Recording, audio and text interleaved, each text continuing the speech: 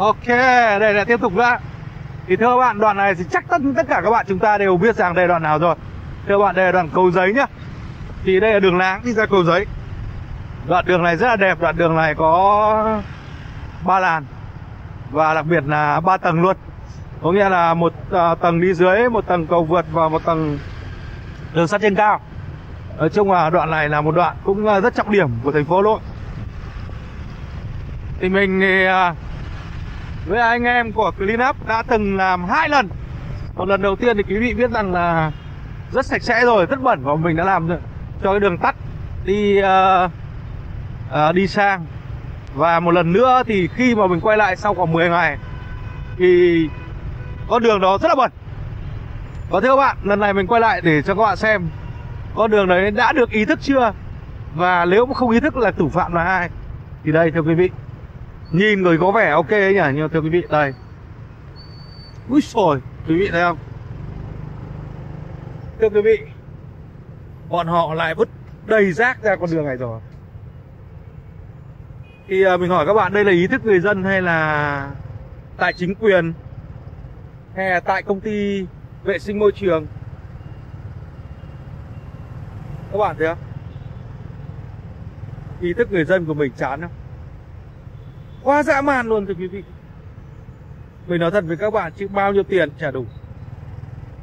Bao nhiêu công sức của anh em. Nói chung là cái ý thức như này mình nói thật với các bạn chứ. Anh em bọn mình đang làm Việt Nam Clean Up ấy, Cũng chỉ mong muốn Nói thật với các bạn nhé Là chỉ mang hy vọng nhé Hy vọng là Người ta gọi là gì nhỉ? Mang tính chất lan tỏa thôi. Chứ chả hy vọng là, Nói chung là cái hệ thống mà đi vứt rác như này thì mình khẳng định quý vị toàn trên trung niên này toàn những người lớn chứ không phải trẻ con. Và mình chỉ mong muốn những hình ảnh của bọn mình này đến những người bạn trẻ thôi được sống trong cái tầng lớp văn minh được uh, vật chất đầy đủ văn minh thì chắc chắn là sẽ không như này nữa. Người ta làm sạch sẽ để cho một con đường đi lại một con đường đẹp như thế này ở một ngã tư rất hiện đại. Thế mà họ không quan trọng cái gì cả họ không ờ, tiếc thương cái gì cả. Vào đây. Ok thưa quý vị biết làm sao đây? À tâm sự tí nhỉ? À, nói thật với các bạn ấy, trong cuộc đời này nếu mà để mà chúng ta hiểu được cảm xúc của những cái thành phần à, người ta yêu môi trường hay người ta luôn luôn mong muốn cho cái ý thức bị ý thức chung ấy của xã hội ấy thì những hình ảnh này họ buồn lắm. Không những thế thưa quý vị cực buồn luôn. Nói chung là con người thì không tránh được cái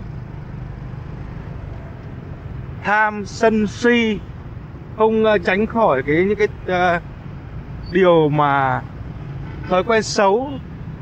Nhưng mà mình tin chắc rằng nếu mà mỗi người trong chúng ta có ý thức thì sẽ không bao giờ xảy ra những việc như vậy đâu. À, đối với mình thì mình tin chắc rằng là để thay đổi một lần nữa mình khẳng định để thay đổi cái thói quen của những người lớn tuổi. À, khó lắm thưa các bạn. Và hy vọng rằng những cái clip của chúng tôi mình bọn mình luôn luôn sẽ được những bạn trẻ đón nhận và các bạn trẻ luôn luôn có ý thức à, tốt hơn để mà bảo vệ gìn giữ cái môi trường của chúng ta đang sống.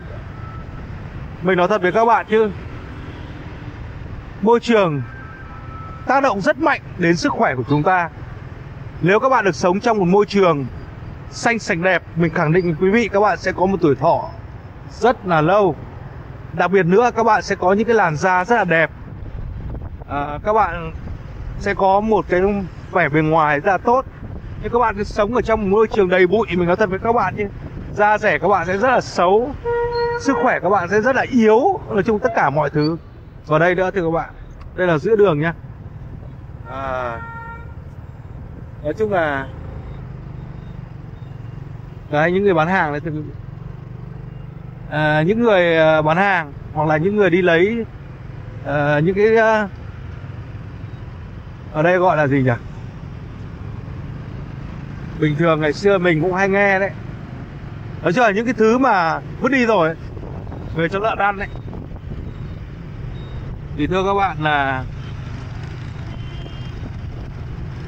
khi mà chẳng may mà họ chở đi, trên đường họ chở đi, mà họ để rơi, vương vãi ra ngoài đường là không bao giờ họ chủ động đi xuống để họ dọn dẹp được quý vị mình thì à, nói thật với các bạn đây là cái uh, dưới của cái đường tàu điện. Đây. Đây là ý thức người dân chứ đâu phải là gì đúng không quý vị? Đây là ý thức người dân đúng không? Đây quý vị nhìn kìa. Họ tiện à, rất nhiều thứ. Họ tiện tay họ về họ vứt rất nhiều thứ. Và đặc biệt có những người rất là vô ý thức. Đất thì đất công. Những cái nhà đối diện bên này này. Đi ra trồng cây mà trồng thức ăn. Đấy. Nói chung là các bạn nhìn thủ đô của bạn này. Mình ờ, nói thẳng các bạn. Ở đây là quý vị phải khẳng định 100% không phải do đảng và nhà nước nhé. Dương Béo khẳng định với quý vị ở đây là do ý thức của người dân. Và tất cả cái đấy là do người dân tự phát. Dù chính quyền Dù rất nhiều các tổ chức Và trong đó có cả đội bọn Dương Đã tự nguyện dọn dẹp rất là sạch. Đây này Tự nguyện dọn dẹp rất là sạch rồi Nhưng mà Chỉ được 10 ngày, 5 bữa 7 ngày Mà không hiểu tại sao các bạn những cái thành phần đó mình nói thật với các bạn mình sẽ dình hôm nay mình cảnh cáo luôn. Anh em sẽ dình những thành quyền đó. Dình ở đây, chúng ta không có quyền để mà làm gì họ cả. Chúng ta không có quyền luôn. Nhưng mà chúng ta sẽ quay lên camera giấu kín để chúng ta đưa những bộ mặt của người ta lên trên không gian mạng cho sự nhục nhã của họ. Trước, mọi người, các bạn ạ nghĩ mà nó cũng buồn. Buồn không các bạn. Các bạn cứ thử nghĩ mà xem. À, mọi thứ đang ờ, rất là tốt đẹp đang rất là sạch sẽ. À, khi các bạn đã nhìn thấy rất là bật rồi các bạn bỏ rất là nhiều công sức ra. Không các bạn là làm nó sạch rất là sạch các bạn. Làm cho đẹp sạch muốt luôn thế là một ngày nào đó, khoảng 5 đến 10 ngày sau bạn quay lại, thì các bạn lại thấy bẩn. Và đặc biệt nữa các bạn ạ, mình không hiểu những con người đấy họ nghĩ cái gì khi họ đang nhìn một con, một cái vỉa hè đang rất là sạch, một con đường đi tắt rất là sạch, mà họ lại vẫn vẫn vứt được. Đây, những cái dấm rúi này các bạn này. Đầu tiên là chỉ là dấm rúi dấm rúi dấm rúi đấy quý vị này. Dấm rúi dấm rúi này. Đấy là tất cả đều từ người dân, đều ý thức của người dân. Mặc dù sau đó các bạn thấy không? Chỉ cần rẽ đây phát các bạn thấy không? Là một trong những cái trung tâm ở Kim Mã. Nhà cửa rất là sạch sẽ, rất là đẹp đẽ, rất là hiện đại. Giống như bao nước trên thế giới. Và đây nữa, đây có quý vị nhìn những tòa tháp cao chọc trời. Các bạn thấy không? Không khác gì Hàn Quốc, không khác gì Bản cả khác gì Mỹ cả được ra đâu đó. Đấy, những con người đâu đó những ý thức của người dân Việt Nam. Và đây nó rõ là người dân thủ đô. Ôi rồi ôi mang tiếng ở thủ đô thế này. Đây quý vị nha à, một cái trung tâm rất đẹp. Và không hiểu tại sao họ nghĩ cái gì. Ok đối với mình thì mình chỉ là một người rất bình thường. Mình mong muốn có một Việt Nam chúng ta luôn luôn hùng cường, luôn luôn xanh sạch đẹp, luôn luôn giàu có. Và chính trị thì ổn định, xã hội ổn định, nói chung mọi thứ ổn định để phát triển kinh tế. Để làm gì? Để Việt Nam trở lên xanh sạch đẹp, để giàu mạnh. Để con người Việt Nam của chúng ta có một bầu không khí, có một môi trường sống hiện đại, có một môi trường sống như bao, như nước khác trên thế giới. Ấy vậy mà, thưa quý vị. Nói thẳng luôn, ấy vậy mà đâu đó vẫn còn quá nhiều những ý thức của người dân của chúng ta quá chán không thể tưởng tượng nổi những buổi chán. Bây giờ tình hình mà cứ như này thì và trong khi đó ấy, những cái thành phần nhá mình ờ, cho dương nói nhá.